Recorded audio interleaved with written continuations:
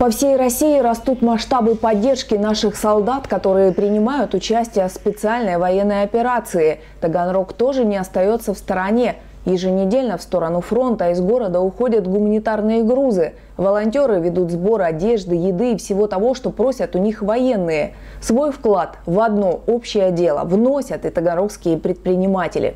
При поддержке городского совета по предпринимательству они собрали средства и приобрели для военных бытовую технику и другое оборудование.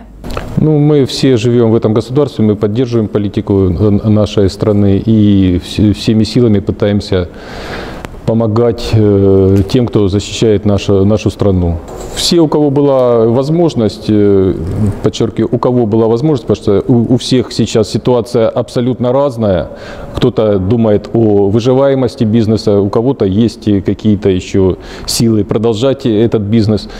Все, кто смог, э, все помогли, абсолютно разные суммы, абсолютно разный даже возраст участников от 20 с небольшим до 70 э, с хвостиком лет предприниматели участвовали, помогли, чтобы облегчить э, тяготы военной службы наших защитников.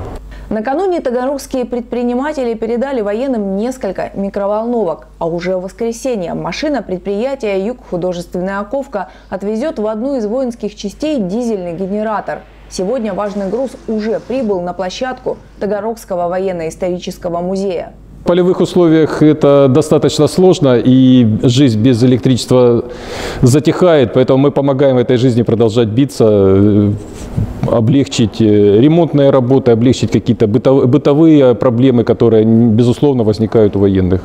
Таганрогских предпринимателей вряд ли можно назвать равнодушными к судьбе людей и страны. Помощи военным – не первая гуманитарная акция нашего бизнеса, и продолжение ее обязательно последует. Я могу сказать, что не только наше предприятие, но и все предприниматели города по мере сил участвуют активно и в жизни города, страны. Помогаем, поддерживаем. У нас э, были сборы и для пункта временного размещения, и для защитников Родины, и для временных переселенцев, и для беженцев. Всем, э, опять же, по мере сил пытаемся помочь, стараемся помочь.